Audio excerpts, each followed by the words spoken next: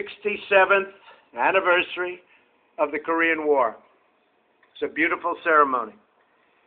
We will never forget that Americans and Koreans bravely fought and died together for a free Korea.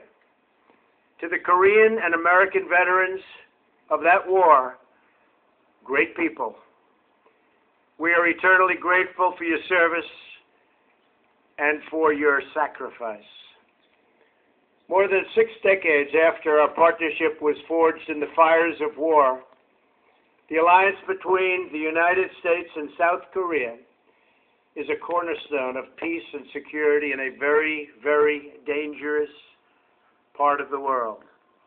The link between our countries, cemented in battle, is now also tied together by culture, commerce, and common values. Together we are facing the threat of the reckless and brutal regime in North Korea.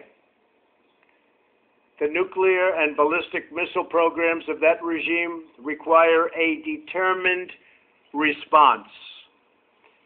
The North Korean dictatorship has no regard for the safety and security of its people or its neighbors and has no respect for human life, and that's been proven on the travesty of Otto's death. Our thoughts and our prayers remain with his wonderful family.